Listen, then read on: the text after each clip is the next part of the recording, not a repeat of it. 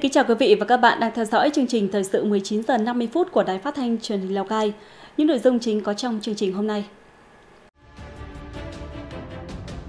Đoàn đại biểu Quốc hội tỉnh Lào Cai tham gia góp ý kiến đối với hai dự án luật tại phiên thảo luận tổ của kỳ họp thứ 7 Quốc hội khóa 15. Thí điểm cơ chế phân cấp trong quản lý tổ chức thực hiện các chương trình mục tiêu quốc gia tại hai huyện Mường Khương, Bắc Hà. Thu hút đầu tư tại khu công nghiệp, khu kinh tế, những vướng mắc cần được tháo gỡ. Qua nhiều năm tổ chức, Festival Cao Nguyên Trắng đã khẳng định thương hiệu và sản phẩm du lịch đặc trưng của huyện Bắc Hà. Tin thế giới, NATO hủy kế hoạch thành lập quỹ hỗ trợ Ukraine.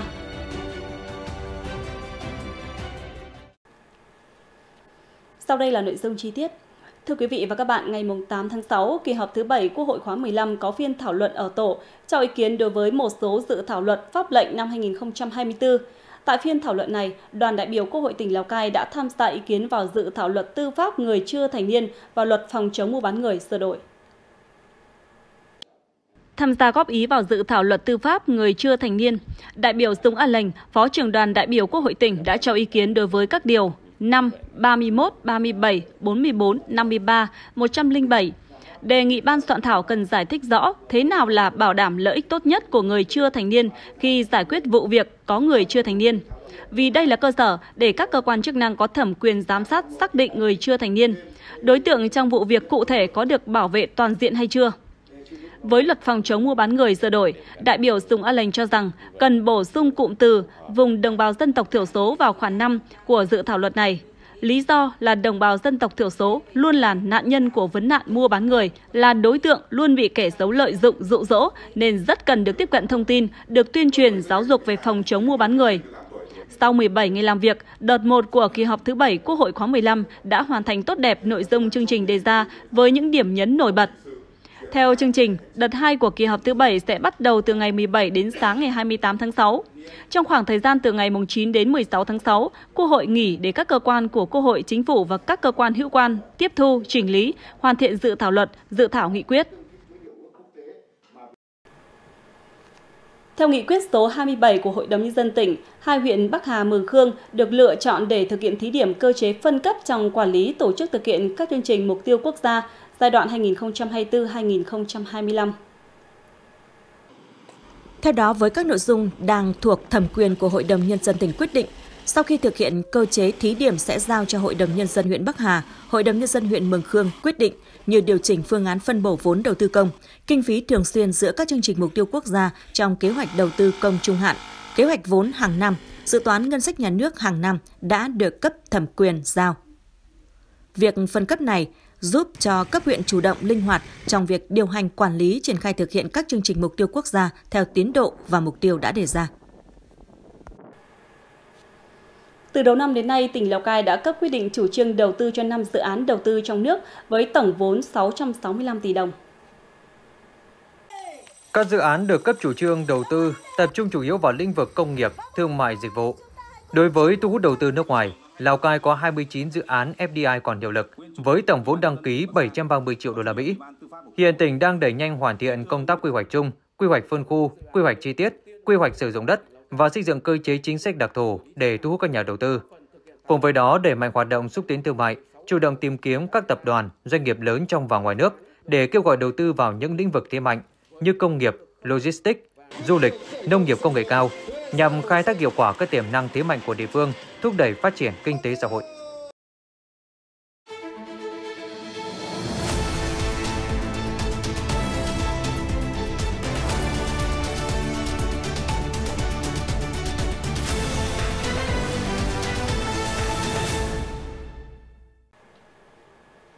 Từ đầu nhiệm kỳ đến nay, Lào Cai mới chỉ thu hút thêm được 6 dự án đầu tư tại khu công nghiệp, khu kinh tế.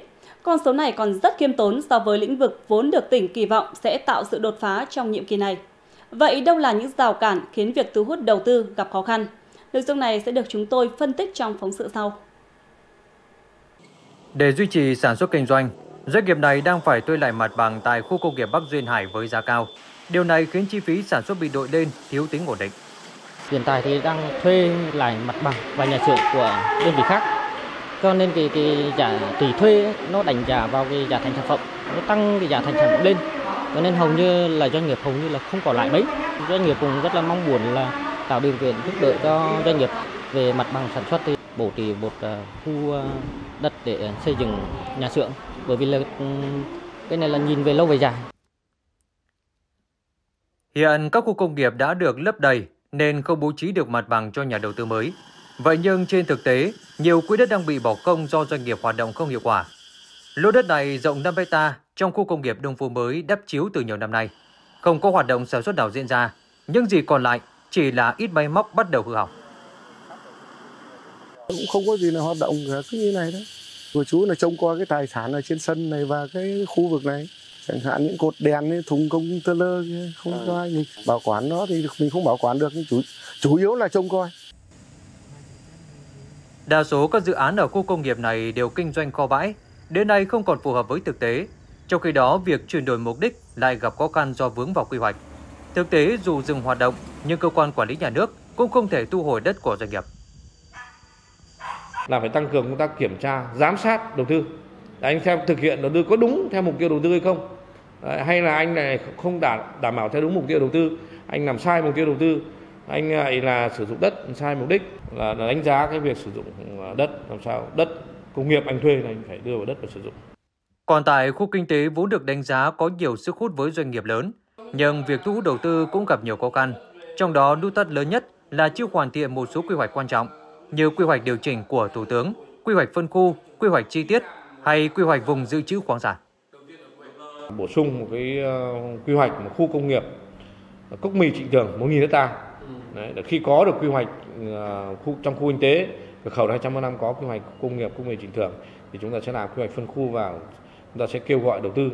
Đồng thời là trong các khu chức năng trong khu kinh tế thì cũng cần ờ, có các cái quy hoạch ờ, chi tiết cũng như là soát về khoáng sản về khai trường về rừng. Đã có 18 tập đoàn doanh nghiệp lớn tiến hành khảo sát, nghiên cứu, mong muốn đầu tư vào khu công nghiệp, khu kinh tế của tỉnh. Trong khi chờ tháo điểm nghẽn về quy hoạch, tỉnh đang đẩy mạnh hoàn thiện hạ tầng giao thông, tạo mặt bằng sạch, cũng như có cơ chế ưu đãi cho các nhà đầu tư. Vụ xuân năm nay, xã Mường Vi, huyện Bát Sát gieo cấy 165 ha lúa giếng cù. Thời điểm này, bà con đang bước vào thu hoạch rộ, năng suất ước đạt 60 tạ một hecta, tăng khoảng 3 tạ một hecta so với cùng kỳ năm trước. Đây là vụ đầu tiên huyện Bát Sát triển khai cánh đồng một giống lúa xén cù tại xã Mường Vi sau khi phục tráng thành công giống lúa đặc sản này.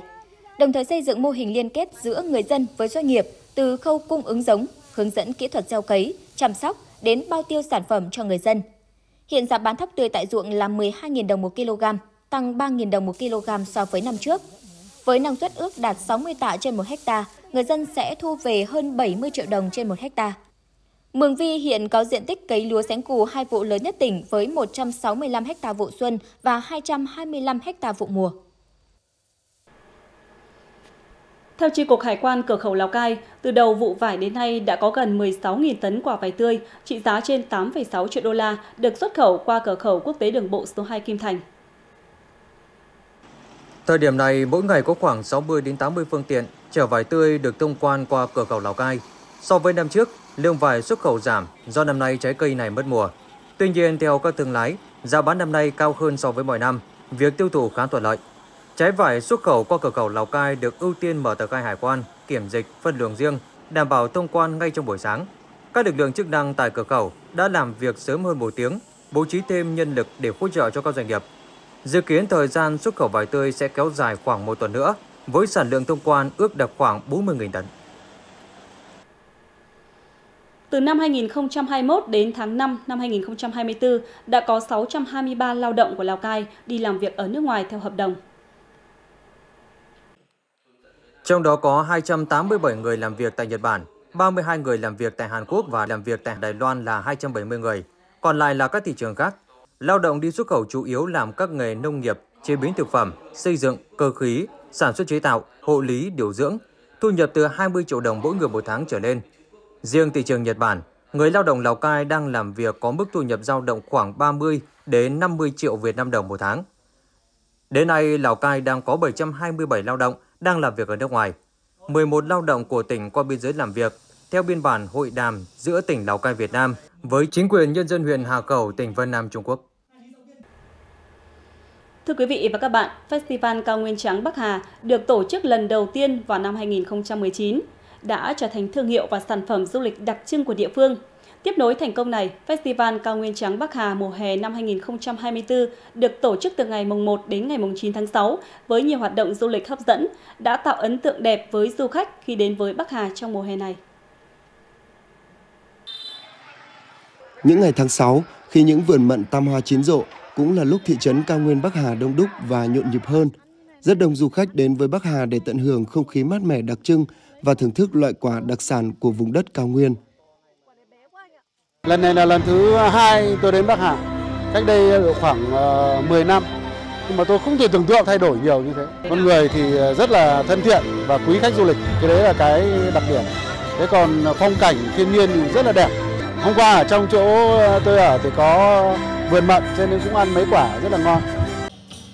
Festival Cao Nguyên Trắng Bắc Hà mùa hè năm 2024 được tổ chức với chuỗi các hoạt động du lịch đậm chất vùng cao, trong đó tập trung chủ yếu vào các hoạt động tham quan trải nghiệm. Đặc biệt, giải đua ngựa truyền thống đã thu hút rất đông du khách trong cả vòng loại và vòng chung kết. Sân vận động trung tâm thị trấn Bắc Hà luôn chật kín khán giả cổ vũ cho giải đua. Những con ngựa ở đây rất là sung mãnh và à, các bạn thì à, rất là kiên cường. Vòng đua chung kết rất là gay cấn. À, bọn mình coi là là lúc đấy là tất cả mọi người đứng hết lên và lính xem là con là xem về đích. Mình thấy cũng uh, tự hào về cái bản sắc và cái truyền thống của bà con dân tộc mình nơi đây và nhất là cái truyền thống yêu ngựa gắn bó với lại dân tộc mình nó từ lâu đời và bây giờ nó được sự phát triển của nhà nước hỗ trợ thêm để được ờ, ngồi lên lưng ngựa để chinh phục những thử thách của chính những chàng trai nông thôn và những hình ảnh đẹp nhất của quê hương quảng bá lên à, cả thế giới. Các hoạt động du lịch trên địa bàn được tổ chức chú đáo, đảm bảo an toàn và sức hấp dẫn của festival đã thu hút khoảng 65.000 du khách tới Bắc Hà. Các cái hoạt động chính thì đã khép lại. Tuy nhiên thì chúng tôi cũng đã chỉ đạo các xã, các địa phương à, sẽ chuẩn bị tốt cho các hoạt động trải nghiệm của du khách ví dụ như là hoạt động trải nghiệm đồi à, ngải thầu rồi kênh ờ, cũng miến nhìn năm tuổi, các cái hoạt động cũng như trải nghiệm chợ Bắc Hà à, và trải nghiệm ở tất cả các làng bản thì chúng tôi cũng đang ờ, tiến hành các cái khâu tổ chức thực hiện à, yêu cầu các xã là chuẩn bị ờ, những cái nội dung sẵn sàng là phục vụ du khách trong thời gian tới này. Việc tổ chức thành công Festival Cao Nguyên Trắng Bắc Hà mùa hè 2024 đã góp phần quan trọng để địa phương tiếp tục khẳng định vị trí là khu du lịch cấp tỉnh, tương lai là khu du lịch cấp quốc gia, đồng thời tiếp tục phát huy giá trị thương hiệu Festival Cao Nguyên Trắng Bắc Hà.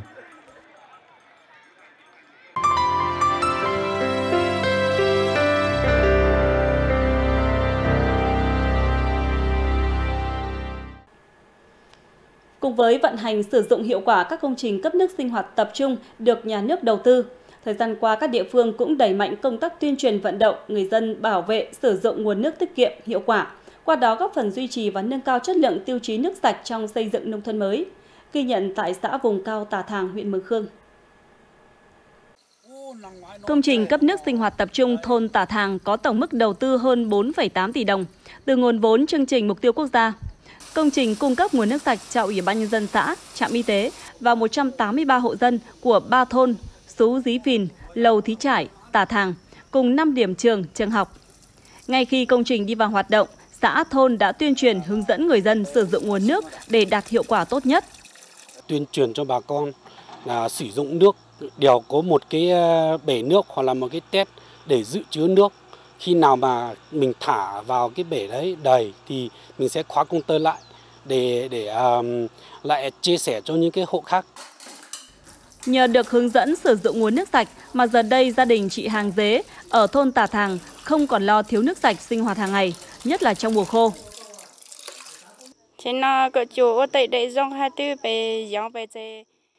Bây giờ được nhà nước kéo nước sạch cho thì không phải lo về nước uống như ngày xưa nữa. Ngày xưa mình đi làm nương về, không có nước dùng, lại phải đi điệu nước xa về dùng khổ lắm. Cùng với phát huy các công trình nước sạch được nhà nước đầu tư tại các thôn bản có nguồn nước do dân tự kéo, chính quyền các cơ quan chuyên môn cũng tập trung tuyên truyền hướng dẫn người dân các biện pháp cơ bản để làm sạch nguồn nước trước khi sử dụng và khuyến cáo bà con bảo vệ sử dụng nguồn nước an toàn tiết kiệm, ăn chín uống sôi. Nâng cao cái, cái ý thức của người dân để sửa chữa, ví dụ như là ờ, các cái hộ gia đình mà nếu mà hỏng nhổ các cái vòi các thứ thì gia đình phải chủ động cái việc đó để mua cái vòi mới khác về thay cho không không lãng phí. Đấy còn là xã thì cũng luôn là lúc nào cũng tuyên truyền cái cái về vận hành nước. À, ví dụ như là như cái, cái có cái đoạn mà nó hỏng hóc và dò dỉ thì là sẽ chỉ đạo à, trưởng thôn cán bộ thôn à, huy động và bà con nhân dân để sửa chữa. Quan tâm công tác tuyên truyền, nhận thức của người dân về nước sạch trên địa bàn xã Tà Thàng đã có nhiều chuyển biến tích cực. Hiện cơ bản các hộ gia đình có bể chứa tách nước, biết sử dụng nước tiết kiệm, đảm bảo vệ sinh. Qua đó góp phần nâng tỷ lệ sử dụng nước sạch của xã đạt trên 90%, giúp xã đạt tiêu chí nước sạch trong chương trình xây dựng nông thôn mới.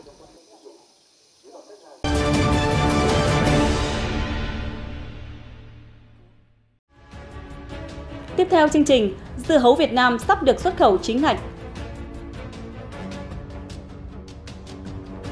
Rộn ràng cuộc đua thuyền rồng đón Tết Đoan Ngọ. Với việc Nghị định thư yêu cầu kiểm dịch thực vật đối với xuất khẩu dưa hấu từ Việt Nam sang Trung Quốc có hiệu lực từ ngày 12 tháng 6 tới, đầu ra loại quả này sẽ ổn định hơn trong thời gian tới.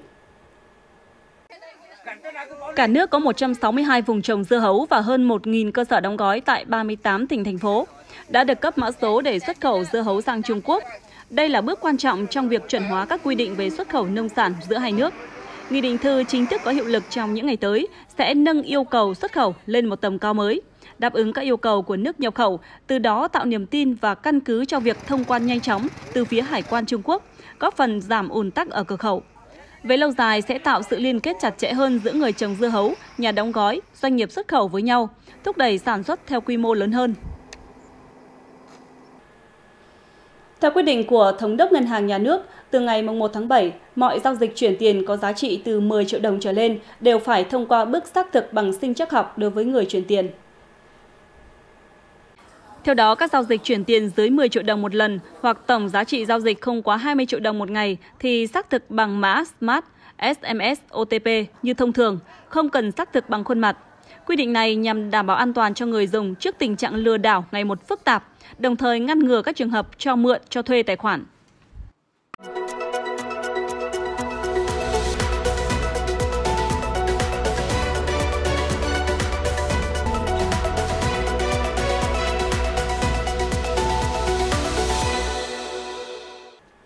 Chương trình xin được tiếp tục với một số thông tin thời sự quốc tế. Thưa quý vị, sau 30 ngày kể từ khi Thượng viện khóa hiện tại mãn nhiệm, Thái Lan tiến hành bầu cử Thượng viện khóa mới với vòng đầu tiên diễn ra ở cấp quận huyện trên toàn quốc. Ủy ban bầu cử Thái Lan cho biết hơn 48.000 ứng cử viên đã đăng ký, trong đó có gần 46.800 người đủ tiêu chuẩn tranh cử. Các ứng cử viên này thuộc 20 ngành nghề chuyên môn khác nhau như pháp lý, nông nghiệp, truyền thông, giáo dục. Các ứng cử viên sẽ tự bầu với nhau qua 3 vòng để chọn ra người thắng cử. Khoảng 20.000 cảnh sát đã được triển khai để bảo đảm an ninh trật tự cho các điểm bầu cử trên toàn quốc.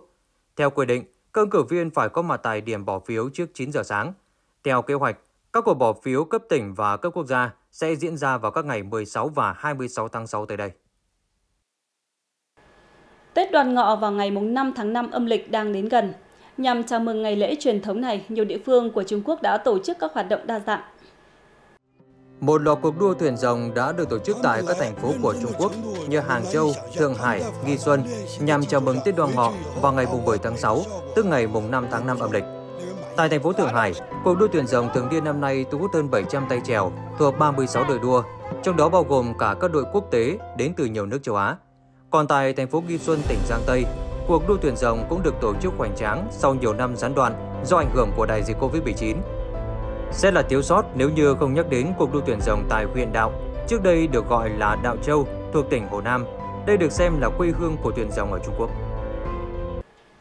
Người dân ở nhiều thành phố của Israel hôm qua đã xuống đường tuần hành để hoan nghênh lực lượng quân đội và an ninh nước này đã thực hiện thành công chiến dịch đặc biệt giải cứu 4 con tin bị bắt giữ tại Gaza. Tại thành phố Tel Aviv của Israel, rất nhiều người dân đã xuống đường để thể hiện sự ủng hộ với chính phủ và chia sẻ niềm vui với các gia đình con tin vừa được giải cứu. Người dân Israel đồng thời kêu gọi chính phủ và quân đội nước này nỗ lực hơn nữa đưa toàn bộ 120 con tin còn lại trở về và cộng đồng quốc tế tiếp tục thúc đẩy Hamas sớm chấp thuận kế hoạch ngừng bắn và trao đổi con tin do Israel đề xuất.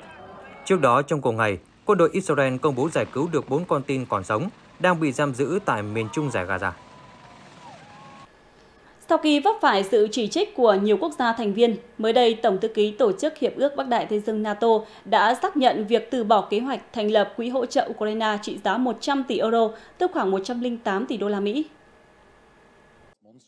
Thay vì thành lập một quỹ trong 5 năm, Tổng thư ký Tổ chức Hiệp ước Bắc Đại Tây Dương sẽ yêu cầu các quốc gia thành viên NATO duy trì các khoản đóng góp hiện nay cho Ukraine. Theo đề xuất mới, các nước đồng minh trong NATO sẽ cần chi ít nhất 40 tỷ euro mỗi năm cho viện trợ quân sự sát thương và phi sát thương cho Ukraine. Dự kiến đề xuất này sẽ được các nước thảo luận trong cuộc họp vào tuần tới. Số tiền trên sẽ bằng với mức đóng góp trung bình hàng năm của các quốc gia thành viên NATO kể từ khi đổ ra cuộc xung đột Nga-Ukraine hồi tháng 2 năm 2022. Ngày 8 tháng 6, Quỹ tiền tệ quốc tế IMF đã kêu gọi Mỹ giảm bớt thâm hụt tài chính đang ngày càng gia tăng. Phó Tổng Giám đốc điều hành IMF cho biết cơ quan này nhận thấy có nhiều cơ sở để giới chức Mỹ giảm thâm hụt tài chính, căn cứ vào thực lực của nền kinh tế quốc gia. Trước đó, trong báo cáo công bố cuối tháng 4 vừa qua, Bộ Thương mại Mỹ cho hay trong quý một vừa qua nền kinh tế nước này đã tăng trưởng với tốc độ chậm nhất trong gần 2 năm qua, với mức 1,6% do nhập khẩu tăng vọt để đáp ứng tiêu dùng mạnh mẽ, khiến nước này gia tăng thâm hụt thương mại. Lạm phát Mỹ gia tăng với chỉ số giá tiêu dùng cá nhân không bao gồm giá lương thực và năng lượng dễ biến động, tăng ở mức 3,7% trong quý 1 năm 2024, sau khi tăng 2% trong quý 4 năm 2023. Ở xã vùng cao Nậm Pung, huyện Bát Sát, việc thu hái cây chè dây đang mang lại nguồn thu nhập khá cho nhiều hộ gia đình. Bởi theo kinh nghiệm dân gian, chè dây có tác dụng chữa được một số loại bệnh liên quan đến đường tiêu hóa. Vào thời điểm này, tại một số thôn bản của Nậm Pung là không khí nhộn nhịp thu hái và chế biến chè dây của chị em người Hà Nhì. Những hình ảnh này sẽ có trong một khoảnh khắc Lào Cai hôm nay.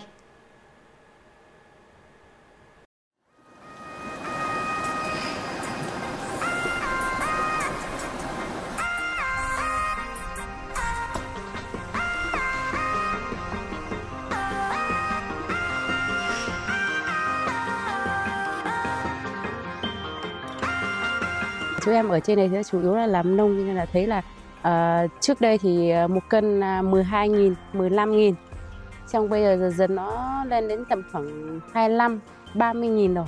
Thì em đã nghĩ ra cách là uh, muốn là qua cái hái những cái chỗ mà đi hái chè thì thường thấy là chủ yếu là những cái đồi mà nó khó khăn khô cằn nhưng mà cái giống chè này thì nó lại rất là phát triển những cái chỗ đấy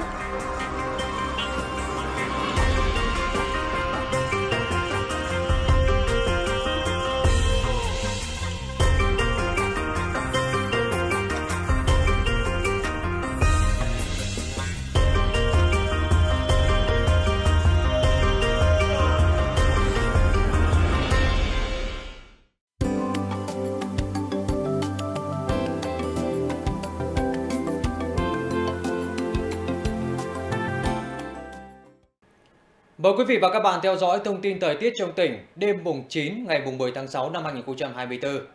Thưa quý vị và các bạn, ngày hôm nay các địa phương trong tỉnh vẫn có mưa rào rải rác, tiết trời khá là mát dịu. Đài khí tượng thủy văn tỉnh Lào Cai dự báo đêm nay và ngày mai chịu ảnh hưởng của rìa áp thấp có trục qua Bắc Bộ. Trên cao vùng hội tụ gió lên đến 5.000 m, hoạt động mạnh dần lên, nên thời tiết các địa phương trong tỉnh nhiều mây, có mưa, mưa vừa và rông rải rác, Cục bộ có nơi mưa to đến rất to, vùng cao đêm về sáng trở lạnh, có nơi trời rét. Những ngày trời có mưa rông thường kèm theo các hiện tượng lốc, xét, mưa đá và gió giật mạnh có thể gây ảnh hưởng đến sản xuất nông nghiệp, làm gãy đổ cây cối, hư hại nhà cửa, các công trình giao thông, cơ sở hạ tầng.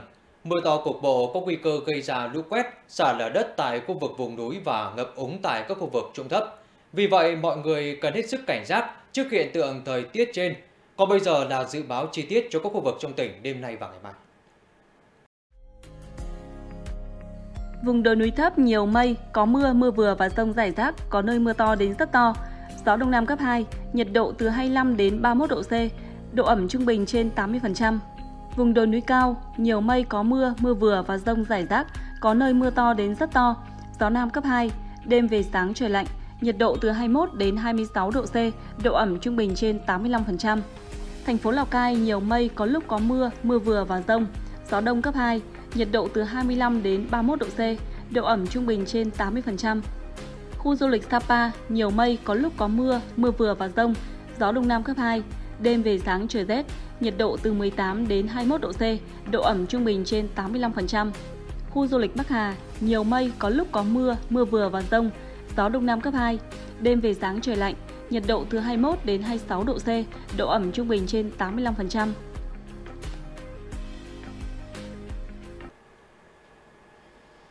Quý vị và các bạn thân mến, những thông tin thời tiết trong tỉnh vừa rồi đã kết thúc chương trình thời sự của Đài Phát thanh Truyền hình Lào Cai. Cảm ơn sự quan tâm theo dõi của quý vị và các bạn.